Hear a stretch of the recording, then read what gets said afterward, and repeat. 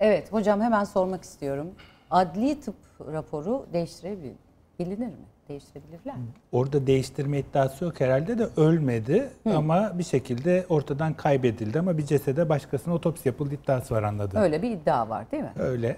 Şimdi önce ben olabilecekleri söyleyeyim sonra benim kendi fikrimi de söyleyeyim. Tamam. Şimdi e, mezar açılabilir mi? Evet kanuni temeli var. Açılabilir. Orada 8 yıl olmuş vefat edeli şahıs. Muhtemelen sadece kemikleri kalmıştır. Çünkü 5 yıl içinde iskelet haline gelir ama çıkacak kemik parçalardan DNA testi yapılır ve o şahsın Cem Garipoğlu olup olmadığı karşılaştırılabilir. Anne babası vesaireden örnek alınarak. Orada bir sıkıntı yok. Yani teknik manada bu çözülebilecek bir şey bir. İkincisi Karacaahmet Mezarlığı'nda bildiğim kadarıyla cenaze. Yeri belli. Mezarlıklar Müdürlüğü gösterir. Oradan kemikler de çıkar. Yani teknik manada hiçbir sıkıntı yok ama şimdi şuna bir bakalım.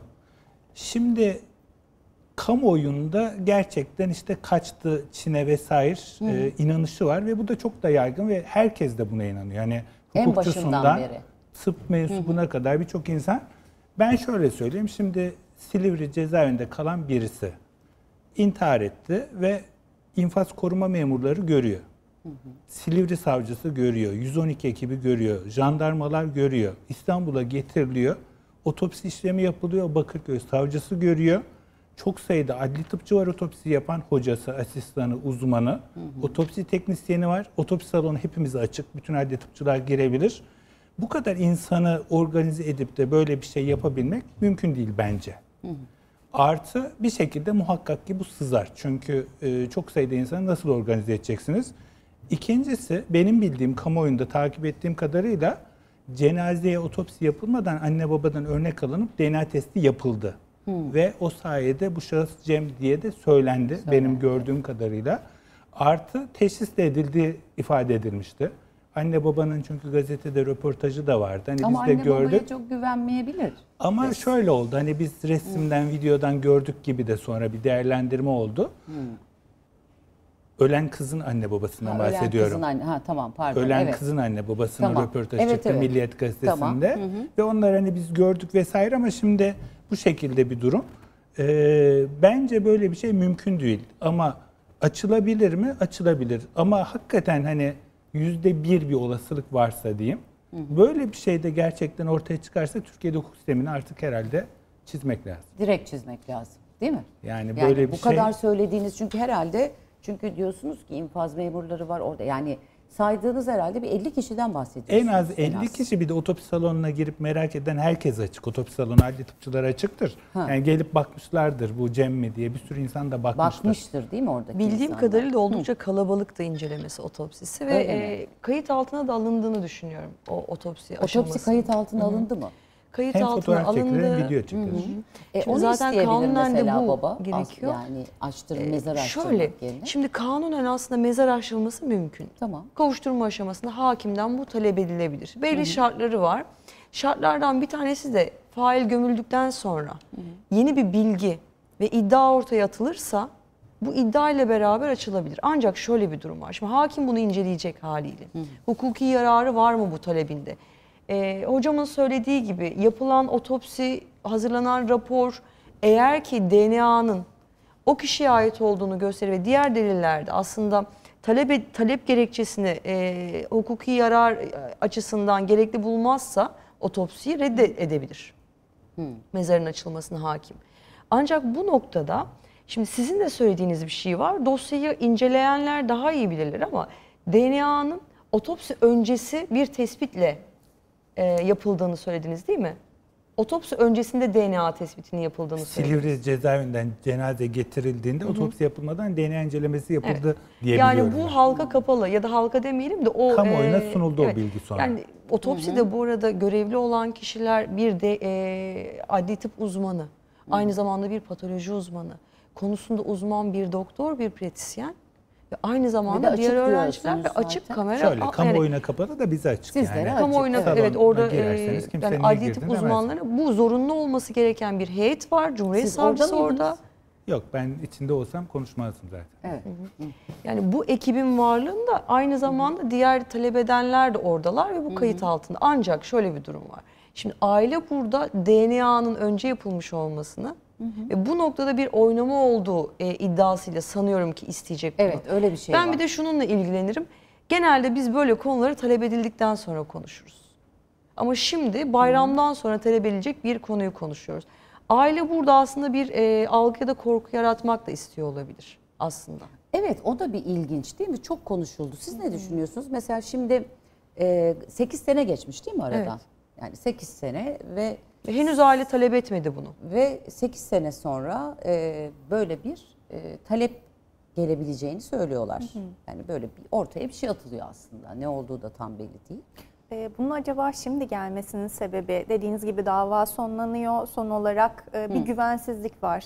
Bu arada topluma yansıyan zaten bu olayla ilgili bir güvensizlik var. Yani toplum da bunu çok konuştu. Kaçırıldı uzun mı? zaman, Ee, evet. Yani çok uzun zamandır aslında buraya dair hep insanların içine Çünkü sinmeyen başta kaçırıldığı için ve başta bulunduğu Şöyle şahıs babanın öyle bir şüphesi. etti. Bu, etti. Sonra teslim oldu. teslim oldu. bu söylenti varken babanın böyle bir şüphesi yok. Ama 8 yıl sonra e, gündemden de kalktığında bu konu babanın böyle bir şüphesi doğuyor. Belki bir bilgi almış olabilir. Olabilir bu iddia belki buna Ha. dayalı oluşabilir ama Siz böyle bir durumda e, beni düşündüren tek şey genelde bu talep o, gündeme geldiğinde hani yapıldığında gündeme gelirdi ama şu anda e, onun yani babanın da tamamen bir söylemden Diyelim ibaret ki aslında. hakim bunu kabul etti ve mezar açıldı.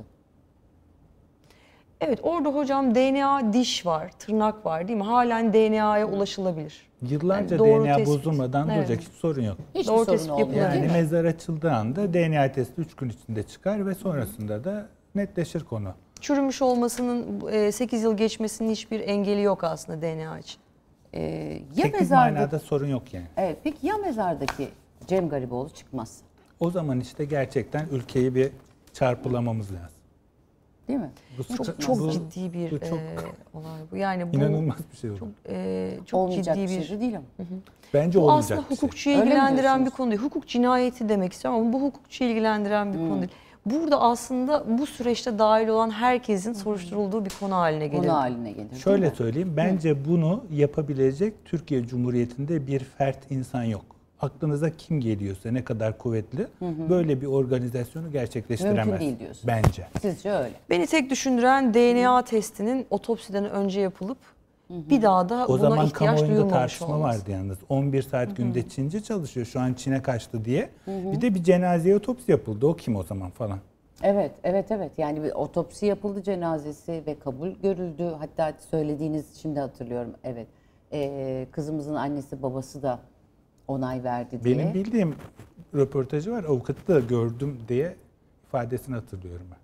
Sizce ne oldu? Ne değişti 8 sene içinde? O dönemde de şimdi bunlar yine basına yansıyanlar. Arka planı, aile içinde ne olduğu, o gördüm ifadesine Güçlü de bir aileden verildi. bahsediyoruz. çünkü. Bunları da bilmiyoruz. Yani arkasında aslında o dönemde atlanan basına yansımayan bir kısım da olabilir. Şimdi gündeme gelmesi belki bir duyum, şartların değişmesi, hukuki olarak eğer dava kapanacaksa son olarak bu hakkı kullanma, yani birçok sebebi olabilir arka planda. Ama en temelde bence bizim bakmamız gereken güvensizlik.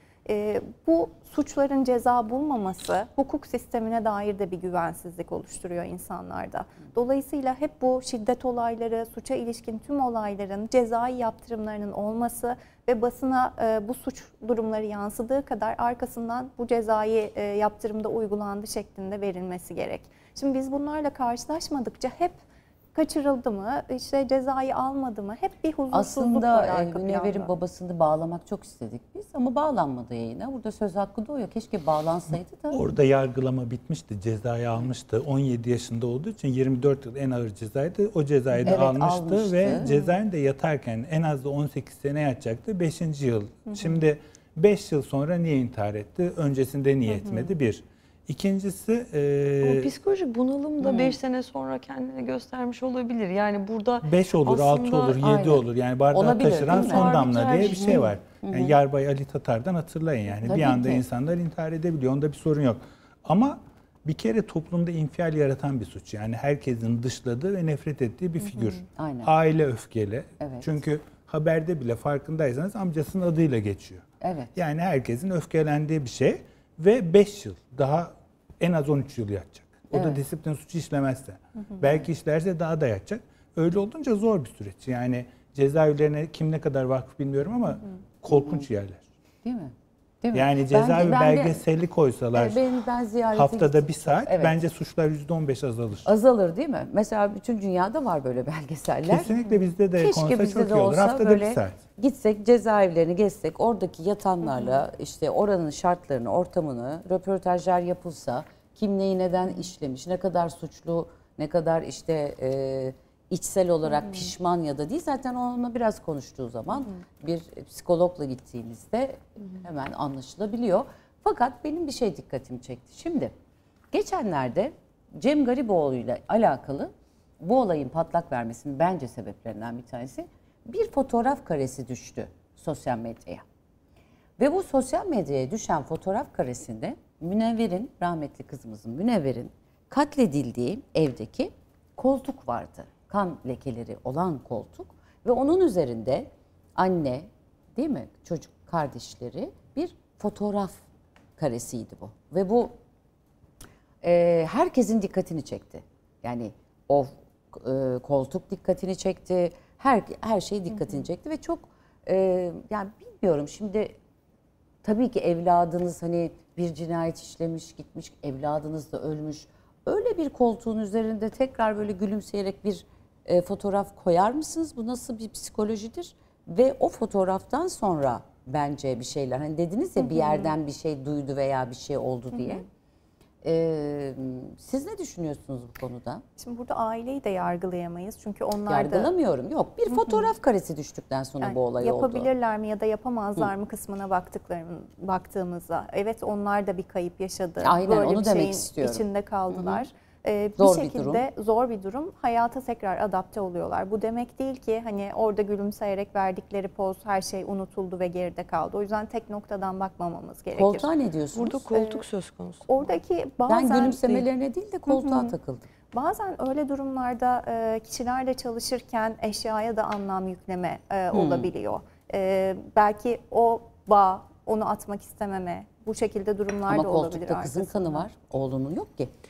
Oğlu da öldü. Oğlu da yani öldü. nihayetinde dolaylı bir şekilde ve ben şunu biliyorum. O e, olay yerinde anne Verebilir halı- miyiz onu? Var mı elimizde? Olay yerine Bir anne halıyı da temizlemiş mesela. Evet Yani şimdi hani olay bir anne için çok bir zor bir şey. Yani evladınız hani gözünüz gibi baktığınız. Şimdi bakın bu koltuk. Bu koltuk. Bu olay günün görüntüsü. Evet şimdi son- Sağdaki de şimdi yeni görüntü. Şimdi yeni görüntü. Öbürü de olay günü olan görüntü. Ee, ve bu koltukta böyle bir fotoğraf karesi düştü. Bütün internetlere, her yere. E, şimdi siz o koltuğu atmaz mısınız yahu? Kullanır mısınız yani? Hani psikolog olarak soruyorum şimdi. Nasıl bir e, Sağlıklı ruh? bir yapıda düşündüğümüzde Evet. evet. muhakeme edemediğimiz, algılayamadığımız bir nokta. Ancak bu e, olayların içinde kalan, evladını da yitiren bir ailenin ruh sağlığı ne düzeyde bunu bilemiyoruz. Evet. Dışarıdan baktığımızda sağlıklı bir insan hani e, bunu yapmaz diyoruz. Fakat onlar hangi psikolojide arkadaki e, o durumu bilemediğimiz için dediğim gibi bazen bir eşyaya çok fazla anlam yükleme olabiliyor bunun arkasında. E, Nasıl bir anlam yükleyebilirler? Orada mesela bir kız öldürülmüş ve o koltukta o kızın kanları var. Şimdi bir anne, yani merak ettiğim için soruyorum. Yani sizler de lütfen söyleyin. Şimdi ben anlayamıyorum. Şimdi bir anne, e, benim de evlatlarım var. Hepimizin var. Yani çocuğum cinayet işleyecek. Evimdeki koltukta kan lekeleri olacak. Temizleyecek, gidecek, Ben onu temizleyeceğim ve getirip bir daha kullanacağım. Şimdi nasıl bir yapıda olmam lazım benim anne olarak? Acaba bu ne zaman temizlendi? Belki de cinayetin hemen arkasından zaten bir şeyleri örtbas etmek için temizlendi. Yani olayların Yok, ne bir- şekilde orada, devam e, ettiği. orada- Numaralı şeyler var, Hayır görüntüler numaralar var var. orada. Temizlenmiyor koltuk önce. Bakın şimdi o red Zaten fotoğrafı bir olay daha. yerine hemen girmişler Tabii ki. de. Şimdi olay yerine hemen giriyorlar. gelirler. Bakın orada o koltukta kızın yani bütün o yerde kan lekeleri her şey var orada. Orada görünüyor. Bütün deliller şu anda orada görünüyor. Ve bu koltuk delil olarak zaten alınıyor. Yani bunu alıyorsunuz delil olarak ve değil mi? Tabii olay yeri Orada inceleme, inceleme aslında orada bütün delilleri belirtmiş. Şimdi burada ne var biliyor musun? Tabii. Bunu değerlendirdiğimizde tabii ki şimdi bir, bir psikolog e, bakış açısıyla siz duygusal e, verileri e, alıyorsunuz ele ama ben bir hukukçu olarak buna baktığımda tamamen e, şüpheci yaklaşıyorum. Yani bu beni şüphelendirir. Şimdi beni de bir savcı etti. olarak da ben bu duruma baktığımda acaba derim. Çünkü hiçbir duygusal bağ kurmasam bile nihayetinde bu olayın Ya silsilesiyle beraber duygusal bağ sonunda oğlunu yani? kaybediyorsun. Yani ona baktığında münevveri hatırlama ama oğlunla bağlantılı bir şey var orada. Yani ben e, bu noktada e, şüpheci yaklaşırım. Bir savcının da şüpheci yaklaşacağını düşünüyorum şu noktada. Bu koltuk çünkü bu bağlantılı fotoğraf yayınlandıktan sonra işte birkaç ay sonra da baba e, ve avukatı ortaya çıkıp böyle bir şimdi ben de anne olsam şüphelenebilirim. Acaba hani normal hayata dönmüşler. Acaba bu çocuk yaşıyor da bizi mi kandırdılar? Çünkü herkes kriminal bilmek zorunda değil. Hepimizin böyle bilgileri yok. Ekran başında seyrediyoruz, diziler, filmler seyrediyoruz ama gerçeği böyle değil hayattaki. O yüzden bence bu fotoğraf çok etkili oldu diye düşünüyorum. Ee, şimdi tabii süreç devam edecek. Ee, bakalım ne gösterecek? Biz de bakarız neler olduğunu Baba ama talep ederse tabii baba ki. talep ederse böyle bir şeyi. Ama Peki siz bugün böyle bir şey- günlerden salı. Evet. Yarın başvurma önündeki engel ne ki? Onu demek istiyorum. Yani baba başvurmadan önce Bayramdan bunu sonra demiş. Evet. Ramazan olduğu için mi? Şimdi de zaten bugün bize bağlanmamasının sebebi de oydu. Keşke bağlansaydı. Çünkü hani acılı bir babanın bu kadar zaman sonra halen hani dediğiniz gibi belki de yüreğindeki yüreğine su serpilmiyor. Çünkü o acıyı yıllarca yanacak. Hani adam, çocuk olarak- ölmüş dahi olsa. Tabii hukukun da ona verdiği hak aslında yeni bir bilgi ve iddia ile oluşuyor. Belki de baba yeni bir bilgi aldı ya da bir e, iddiası oluştu.